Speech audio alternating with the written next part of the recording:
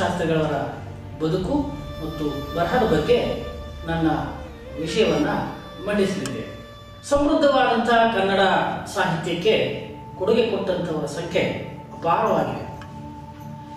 ಇವತ್ತು ಸಾಹಿತ್ಯಗಳಿಂದ ಕನ್ನಡ ಸಾಹಿತ್ಯ ವಾಂಗ್ಮಯ ತುಂಬ ಹೊಳೆಯಾಗಿ ಹರಿಯುತ್ತಿದೆ. ಇದರ ನಡುವೆ ಸಾಹಿತ್ಯ ಕೃಷಿ ಮತ್ತು ಸಮಾಜ ಸೇವೆ ಎರಡನ್ನೂ ಏಕಕಾಲಕ್ಕೆ ನಿರ್ವಹಿಸಿದವರು ನಮ್ಮ ಬೆಳಗೆರೆ ಕೃಷ್ಣಶಾಸ್ತ್ರಿಗಳು. ಶಾಸ್ತ್ರಿ ಮೇಷ್ಟ್ರೆ ಎಂದೇ ಜನಮಾನಸದಲ್ಲಿ ತುಂಬಿದ ಇವರು ಶ್ವೇತ ವಸ್ತ್ರಧಾರಿಗಳು. ಇವರ ಉಡುಗೆಯಷ್ಟೇ ಪರಿಶುಭ್ರ ಜೀವನವನ್ನು ನಡೆಸಿದವರು.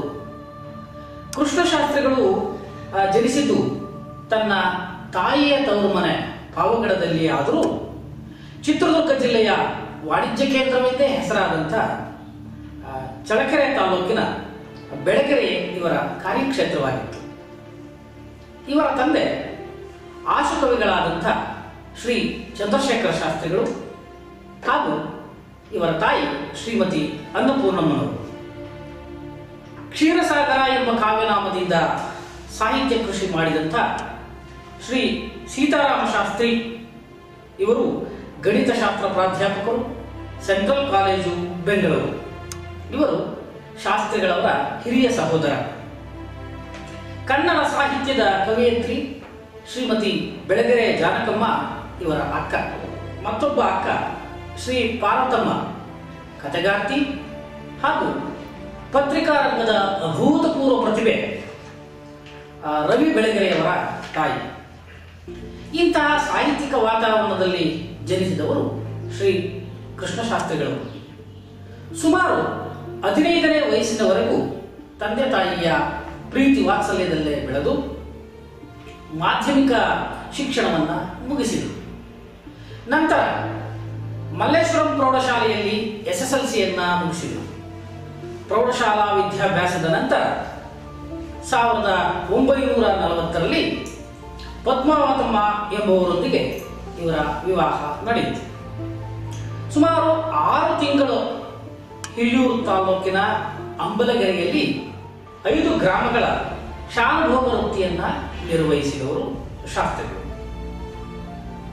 ಈ ಸಮಯಕ್ಕೆ ಮೇಲಾಧಿಕಾರಿಗಳ ಲಂಚಾವತಾರ, ಈ ಕಿರುಕುಳ, ಇವನ್ನೆಲ್ಲ ಮನಗಂಡಂಥ ಶಾಸ್ತ್ರಿಗಳು ಈ ಶಾನುಭೋಗ ವೃತ್ತಿಗೆ ರಾಜೀನಾಮೆಯನ್ನ ಕೊಟ್ಟರು. ಮತ್ತೆ ಬೆಳಗೆರೆಗೆ ವಾಪಸ್ ಆಗ್ತಾರೆ.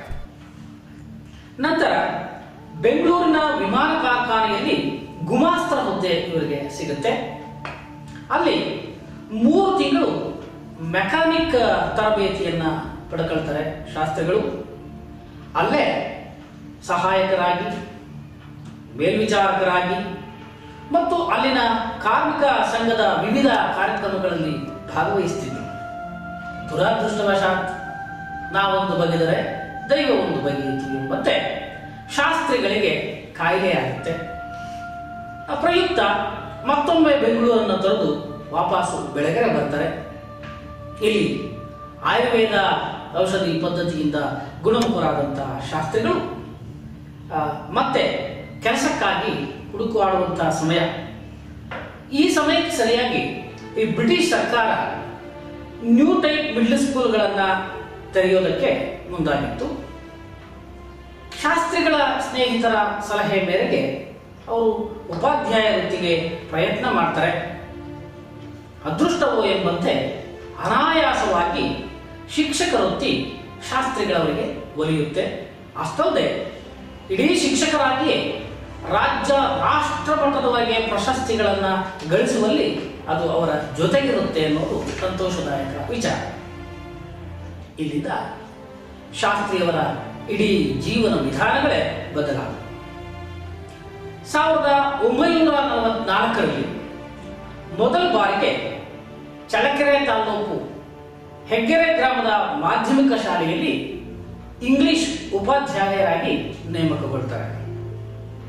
ಆಗ ಅಲ್ಲಿನ ಮುಖ್ಯೋಪಾಧ್ಯಾಯರಾಗಿದ್ದಂಥವರು ಜಿ. ಸಿದ್ದಯ್ಯನವರು, ಅತ್ಯಂತ ಪ್ರಾಮಾಣಿಕ ವ್ಯಕ್ತಿಗಳು, ಅನುಭಾವಿಗಳು. ಅಂಥ ಪ್ರಾಮಾಣಿಕ ಅನುಭವಿ ಮುಖ್ಯೋಪಾಧ್ಯಾಯರ ನಡುವೆ ಅವರ ಒಡನಾಟದಲ್ಲಿ ಶುಭ್ರ ಮನಸ್ಥಿತಿಯವರಾಗಿದ್ದಂತಹ ಶಾಸ್ತ್ರಿಗಳು ಪರಿಶುಭ್ರರಾದರು. ನಂತರ ಚಿಕ್ಕಮಗಳೂರು ಜಿಲ್ಲೆ ದೇವನೂರಿಗೆ ವರ್ಗವಾಗಿ ಹೋಗ್ತಾರೆ. ಇಲ್ಲಿ ಅವರ ಜೀವನದ ಮತ್ತೊಂದು ತಿರುವು ಕರಕಳತ್ತೆ. ಅವರಿಗೆ ಆಧ್ಯಾತ್ಮದ ಬಾಗಿಲು ದೇವನೂರಿನಲ್ಲಿ ತೆರೆಯಿತು. ದೇವನೂರಿನ ಕವಿ ಲಕ್ಷ್ಮೀಶನ ಜೈವಿನಿ ಭಾರತ ಮತ್ತು ಅಲ್ಲಿ ಅವರಿಗೆ ಸಿಕ್ಕಂತಹ ಇದೆ ಅನ್ನುವಂತಹ ಕೃತಿಯ ರಚನೆಗೆ ಕಾರಣರಾದಂತಹ ಶ್ರೀ ಮುಕುಂದೂರು ಸ್ವಾಮಿಗಳ ಸಾನ್ನಿಧ್ಯ. ಕೊನೆಯವರೆಗೆ ಶಾಸ್ತ್ರಿಗಳವರನ್ನು ಅತ್ಯಂತ ಎತ್ತರದ ಸ್ಥಾನಕ್ಕೆ ಕೊಂಡೊಯ್ದಂಥದ್ದು ಅವರ ಈ ಏದ್ದಾಗೆಲ್ಲ ಇದೆ ಕೃತಿ ಮತ್ತು ಆ ಕೃತಿಯ ವಸ್ತುವಾಗಿರುವಂಥ ಶ್ರೀ ಮುಕುಂದೂರು ಸ್ವಾಮಿಗಳು ಅವರ ಸಾನ್ನಿಧ್ಯ. ಅಲ್ಲಿಂದ ಮತ್ತೊಮ್ಮೆ ವಾಪಸ್ಸು ಅವರು ದೇವನೂರಿನಿಂದ ಚಳಕೆರೆ ತಾಲೂಕು ಮಿರಾಸಾಬೇಲಿ ಶಾಲೆಗೆ ವರ್ಗವಾಗಿ ಬರ್ತಾರೆ ಬರೀ ಶಾಲಾ ಶಿಕ್ಷಕ ವೃತ್ತಿಯನ್ನಷ್ಟೇ ಅಲ್ಲದೆ ಅವರು ಇಡೀ ಏನು ಬಿಡುವಿನ ಸಮಯ ಇತ್ತು, ಆ ಸಮಯದಲ್ಲಿ ಅನೇಕ ಗ್ರಾಮೋದ್ಧಾರದ ಕೆಲಸ ಕಾರ್ಯಗಳನ್ನು ಮಾಡ್ತಾರೆ, ಶ್ರಮಿಸ್ತಾರೆ. ಇದರಿಂದ ಅತಿ ಬೇಗ ಜನರಿಗೆ ತಲುಪುವಂತಹ ಜನರ ಮನಸ್ಸಿನಲ್ಲಿ ನೆಲೆ ನಿಲ್ಲುವಂತಹ ಅವರ ಪ್ರೀತಿಗೆ ಪಾತ್ರರಾಗುವಂತಹ ಕೆಲಸ ಕಾರ್ಯಗಳನ್ನು ಶಾಸ್ತ್ರಿಗಳು ಮಾಡ್ತಾರೆ. ಮತ್ತೊಮ್ಮೆ ಹೆಗ್ಗೆರೆ, ಅಲ್ಲಿಂದ ಬೆಳಗೆರೆ ಮಾಧ್ಯಮಿಕ ಶಾಲಾ ಮುಖ್ಯೋಪಾಧ್ಯಾಯರಾಗಿ ತಮ್ಮ ನಿವೃತ್ತಿಯವರೆಗೆ ಬೆಳಗೆರೆಯಲ್ಲಿ ಸೇವೆಯನ್ನು ಸಲ್ಲಿಸ್ತಾರೆ. ಇದು ಅವರ ಸೇವಾ ವಿವರ. ಇನ್ನು ಸಾವಿರದ ಒಂಬೈನೂರ ನಲವತ್ತೆಂಟನೇ ಇಸ್ವಿ ಇದೆಯಲ್ಲ ಅದು ಅವರ ಮನಸ್ಸಿನ ಮೇಲೆ ಗಾಢವಾದಂಥ ಎರಡು ಪರಿಣಾಮಗಳು ಬೀರಿದಂಥ ಸಮಯ ಏನಪ್ಪ ಅಂದರೆ, ಇವರಿಗೆ ಮದುವೆ ಆಗಿತ್ತು. ಸಾವಿರದ ಒಂಬೈನೂರ ನಲವತ್ತರಲ್ಲಿ ಪದ್ಮಾವತಮ್ಮ ಅನ್ನುವಂಥ ಒಬ್ಬ ಹೆಣ್ಣುಮಗಳೊಂದಿಗೆ ಶಾಸ್ತ್ರೀಯ ವಿವಾಹವಾಯಿತು. ಸುಮಾರು ಸಾವಿರದ ಒಂಬೈನೂರ ನಲವತ್ತೆಂಟರವರೆಗೆ ತುಂಬು ದಾಂಪತ್ಯವನ್ನ ನಡೆಸ್ತಾರೆ. ದುರಾದೃಷ್ಟವಶಾತ್ ಪದ್ಮಾವತಮ್ಮ ಗರ್ಭಿಣಿಯಾದಂತಹ ಸಂದರ್ಭಕ್ಕೆ ಅವರ ಪ್ರಸವ ವೇದನೆಯ ಸಮಯದಲ್ಲಿ ಮರಣ ಹೊಂದುತ್ತಾರೆ. ಸಾವಿರದ ಒಂಬೈನೂರ ನಲವತ್ತೆಂಟರಲ್ಲಿ. ಇದೇ ಸಮಯಕ್ಕೆ ಸರಿಯಾಗಿ ಮಹಾತ್ಮ ಗಾಂಧಿಯವರ ಹತ್ಯೆ ಆಯಿತು ಭಾರತ ದೇಶದಲ್ಲಿ ಸ್ವಾತಂತ್ರ್ಯ ನಂತರ ಈ ಎರಡೂ ಅವರ ಮೇಲೆ ಗಾಢವಾಗಿರ್ತಕ್ಕಂಥ ಪರಿಣಾಮವನ್ನು ಉಂಟು ಮಾಡಿದ ಪ್ರಸಂಗಗಳು. ಇದರಿಂದ ಮನನೊಂದಂತಹ ಶಾಸ್ತ್ರಗಳು ತುಂಬ ಆ, ಖಿನ್ನರ ಪರಿಣಾಮ ಅವರು ಹಿಮಾಲಯದವರೆಗೆ ತಪಸ್ಸಿಗಾಗಿ ಹೋದರು. ಅನೇಕ ಆಶ್ರಮಗಳಿಗೆ ಭೇಟಿ ಕೊಟ್ಟರು ರಮಣ ಮಹರ್ಷಿಗಳನ್ನು ಭೇಟಿ ಮಾಡಿದರು. ಕೇರಳದ ಸ್ವಾಮಿಗಳನ್ನು ಭೇಟಿ ಮಾಡಿದರು. ಹಿಮಾಲಯದ ಸ್ವಾಮಿ ಶಿವಾನಂದರನ್ನು ಭೇಟಿ ಮಾಡಿದರು. ಇವರೆಲ್ಲರ ಪ್ರಭಾವ ಪ್ರೇರಣೆಗಳು ಶಾಸ್ತ್ರಿಗಳವರ ಮೇಲೆ ಆದ. ಮತ್ತೆ ಇವರ ಸಂಬಂಧಿಕರು ಶಾಸ್ತ್ರಿಗಳವರನ್ನ ನೀವು ಮತ್ತೆ ಮದುವೆಯಾಗು ಮತ್ತೆ ಮದುವೆಯಾಗು ಅನ್ನೋದಕ್ಕೆ ಅವರನ್ನ ಉತ್ತೇಜಿಸೋದಕ್ಕೆ ಪ್ರಾರಂಭ ಮಾಡಿ. ಶಾಸ್ತ್ರಿಗಳಿಗೆ ಮದುವೆಯ ಮೇಲೆ ಅವರಿಗೆ ಮನಸ್ಸಿರಲಿಲ್ಲ. ಅದಕ್ಕಾಗಿ ಅವರು ಏನು ಮಾಡಿದ್ರಂತೆ, ತಮ್ಮ ಬಾಯಲ್ಲಿದ್ದಂಥ ಎಲ್ಲ ಹಲ್ಲುಗಳನ್ನು ಸ್ವತಃ ಅವರೇ ಕೇಳಿಸಿಕೊಂಡು ಬೊಜ್ಜು ಬಾಯಿಯವರು ಆಗಿಬಿಟ್ರು. ಅವತ್ತಿನಿಂದ ಅವರ ಬಾಯಲ್ಲಿ ಹಲ್ಲುಗಳೇ ಇರಲಿಲ್ಲ. ಹಲ್ಲುಗಳೇ ಇಲ್ಲದೆ ಇರತಕ್ಕಂಥ ಗಂಡಿಗೆ ಇನ್ಯಾರು ಏನು ಕೊಡ್ತಾರೆ? ಹಾಗಾಗಿ ಶಾಸ್ತ್ರಿಗಳು ಮದುವೆ ಆಗದೆ ಕೊನೆಯ ತನಕ ಉಳ್ಕೊಳ್ತಾರೆ. ತಮ್ಮ ಸುದೀರ್ಘ ಜೀವನವನ್ನ ಈ ಬೊಜ್ಜುಬಾಯಿಯಲ್ಲಿಯೇ, ಈ ಶ್ವೇತ ವಸ್ತ್ರಧಾರಿಯಾಗಿಯೇ ತಲೆ ಮೇಲುಗಡೆ ಒಂದು ಶ್ವೇತ ವಸ್ತ್ರವನ್ನು ಹಾಕಿಕೊಂಡೆ ಕಳೆದಂಥವರು ಬೆಳೆದರೆ ಕೃಷ್ಣ ಶಾಸ್ತ್ರಿಗಳು. ಶಾಸ್ತ್ರಿಯವರ ಸಾಹಿತ್ಯ ಕೃಷಿ ಏನಿದೆ? ಶಾಸ್ತ್ರಿಯವರು ಏನೇನು ಸಾಹಿತ್ಯ ಕೃಷಿಯನ್ನು ಮಾಡಿದ್ರು ಅಂದರೆ ಸುಮಾರಷ್ಟು ಸಾಹಿತ್ಯ ಕೃಷಿ ಅವರು ಮಾಡಿ ನಡೆಸಿದ್ದಾರೆ ಶಾಸ್ತ್ರಿಗಳವರು ಅದರಲ್ಲಿ ತುಂಬಿ, ಹಳ್ಳಿ ಚಿತ್ರ, ಹಳ್ಳಿ ಮೇಷ್ಟ್ರು, ಏಕ್ದಾಗೆಲ್ಲ ಐತಿ ಸಾಹಿತಿಗಳ ಸ್ಮೃತಿ ಮರೆಯಲಾದೀತೆ ಎಲೆಯ ಮರೆಯ ಅದರು, ಚಿನ್ಮಯಿ ಎನ್ನುವಂಥದ್ದು ಅವರ ಅಭಿನಂದನಾ ಗ್ರಂಥ. ಇನ್ನು ಇವೆಲ್ಲ ಪ್ರಕಟವಾಗಿವೆ ಈ ಕೃತಿಗಳೆಲ್ಲ. ಇದರ ನಡುವೆ ಮಲ್ಲಪ್ಪನಹಳ್ಳಿಯ ಅಲಿಪೀರ್ ಸಾಬ್ ಅವರು ಸಂಗ್ರಹಿಸಿದಂತಹ ಒಂದು ನಲ್ಲುಡಿ ನಿಘಂಟು ಅನ್ನುವಂಥ ಒಂದು ಡಿಕ್ಷನರಿಯನ್ನ ಶಾರದಾ ಮಂದಿರ ವಿದ್ಯಾಸಂಸ್ಥೆಯ ಪ್ರಕಾಶನದಡಿಯಲ್ಲಿ ಪ್ರಕಟಿಸಿ, ಎಲ್ಲೋ ಕಳೆದು ಹೋಗಬಹುದಾಗಿದ್ದಂತಹ ಒಂದು ಅತ್ಯುತ್ತಮ ನಿಘಂಟುವನ್ನ ಸಂಪಾದಿಸಿ, ಸಂಗ್ರಹಿಸಿ, ಅದನ್ನ ಪ್ರಕಟಿಸಿದಂಥ ಕೀರ್ತಿ ಶಾಸ್ತ್ರಿಯವರಿಗೆ ಸಲ್ಲುತ್ತೆ. ಅಷ್ಟಲ್ಲದೆ, ಎಷ್ಟೋ ಜಗತ್ತಿಗೆ ಗೊತ್ತಾಗದೆ ಎಲೆ ಮರೆ ಕಾಯಿ ತರ ಆಗಿ ಹೋಗಬಹುದಾದಂತಹ ಅನೇಕ ವ್ಯಕ್ತಿಗಳನ್ನ ಬೆಳಕಿಗೆ ತಂದಂತಹ ಅವರನ್ನ ಪರಿಚಯಿಸಿದಂತಹ ಕೀರ್ತಿ ಶಾಸ್ತ್ರಿಗಳವರಿಗೆ ಸಲ್ಲುತ್ತೆ ಅದರಲ್ಲಿ ಬಹಳ ಮುಖ್ಯವಾಗಿ ಜಾನಪದ ಸಿರಿ ಸಿರಿಯಜ್ಜಿ ಈ ಅಜ್ಜಿಯನ್ನು ಕೂಡ ಅವರು ಪರಿಚಯಿಸಿದರು. ನಂತರ ಸಿರಿಯಜ್ಜಿಯ ಬೆಳವಣಿಗೆಯನ್ನು ನಾವೆಲ್ಲರೂ ಗಮನಿಸೇ ಇದ್ದೇವೆ. ಹಾಗಾಗಿ ಶಾಸ್ತ್ರಿಗಳವರ ಕಾರ್ಯ ನಿಜಕ್ಕೂ ಬಹಳ ಅಭಿನಂದನೀಯವಾಗಿರ್ತಕ್ಕಂಥ ಕಾರ್ಯ. ಅವರ ಅಪ್ರಕಟಿತ ಕೃತಿಗಳು ಸುಮಾರಷ್ಟಿದೆ. ಅವು ಪ್ರಕಟವಾಗಬೇಕಾಗಿದೆ. ಅದನ್ನು ಒಂದಷ್ಟು ಗಮನ ಹರಿಸುವಂತಹ ಸಾಧ್ಯತೆಗಳು ಇನ್ನೂ ಆಗಬೇಕಾಗಿದೆ. ಇದು ಅವರ ಅಪ್ರಕಟಿತ ಕೃತಿಗಳು. ಈಗ ಸಹಜವಾಗಿ ಶಾಸ್ತ್ರಿಗಳು ಸ್ವತಃ ರಂಗಭೂಮಿ ನಟರು. ಹಾಗಾಗಿ ರಂಗಭೂಮಿಗಾಗಿಯೇ ನಾಟಕಗಳನ್ನು ರಚಿಸಿದರು. ನಟರಾಗಿ ಅಭಿನಯಿಸಿದರು. ನಿರ್ದೇಶಕರಾದರು. ಅವರೇ ರಚಿಸಿದಂತಹ ಹಳ್ಳಿ ಚಿತ್ರ ನಾಟಕದ ರಾಮೇಗೌಡನ ಪಾತ್ರಕ್ಕೆ ಸ್ವತಃ ಅಂದಿನ ಮುಖ್ಯಮಂತ್ರಿಗಳಾದಂತಹ ಶ್ರೀ ಕೆಂಗಲ್ ಹನುಮಂತಯ್ಯನವರು ಮೆಚ್ಚಿ ಪ್ರಶಸ್ತಿಯನ್ನ ನೀಡಿದರು. ನಿರ್ದೇಶಕರಾಗಿಯೂ ಕೂಡ ಶಾಸ್ತ್ರಿಗಳವರ ಕಾರ್ಯ ಶ್ಲಾಘನೀಯ.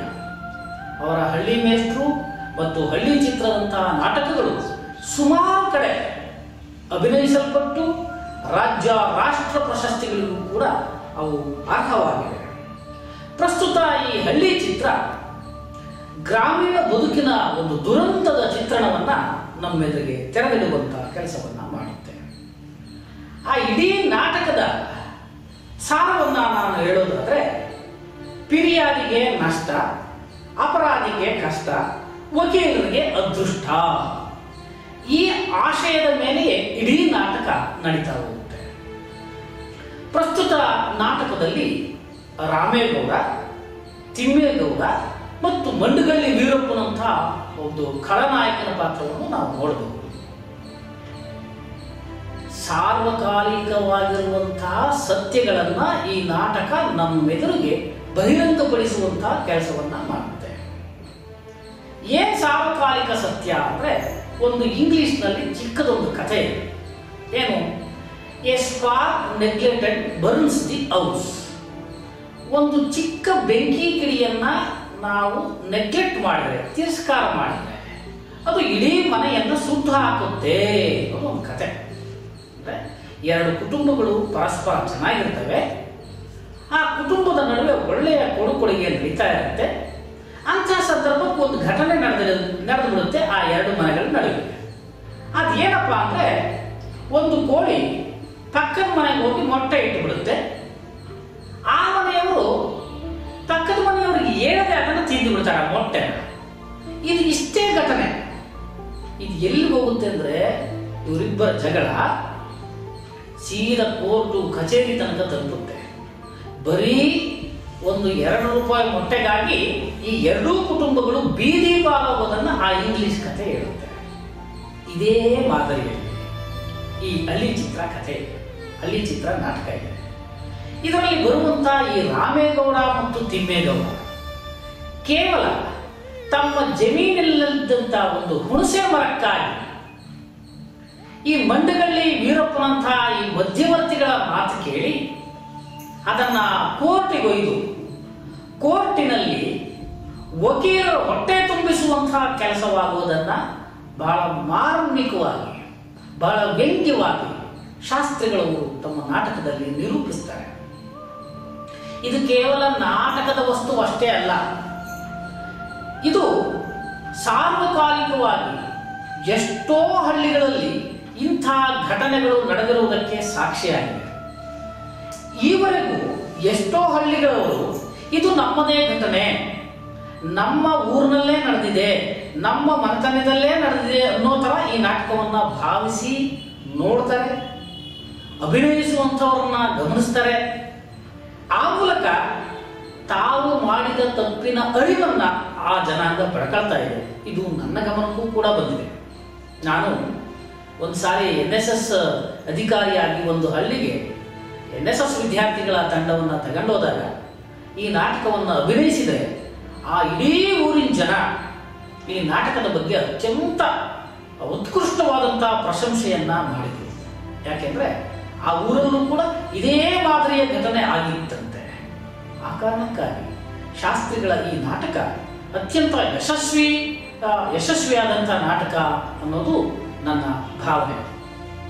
ಹಳ್ಳಿ ಚಿತ್ರ ನಾಟಕ ಹೀಗೆ ಸಾರ್ವಕಾಲಿಕವಾಗಿ ಅನೇಕ ಸಮಾಜದ ಚಿತ್ರಣವನ್ನು ಕಟ್ಟಿಕೊಳ್ಳುವಲ್ಲಿ ಯಶಸ್ವಿಯಾಗಿರುವಂಥ ನಾಟಕವಾಗಿದೆ ಅನ್ನೋದು ನನ್ನ ಅಭಿಪ್ರಾಯ.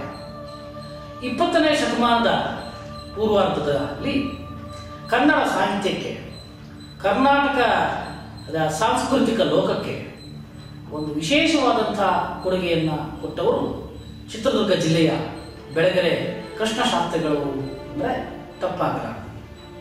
ಆತ್ಮೀಯರೇ, ಈವರೆಗೆ ಕೃಷ್ಣಶಾಸ್ತ್ರಿಗಳವರ ಬದುಕು ಮತ್ತು ಬರಹದ ಬಗ್ಗೆ ನನ್ನ ವಿಷಯವನ್ನು ನಿಮ್ಮೆದುರಿಗೆ ಮಂಡಿಸಿದ್ದೇನೆ. ತಮ್ಮೆಲ್ಲರಿಗೂ ನಮಸ್ಕಾರ.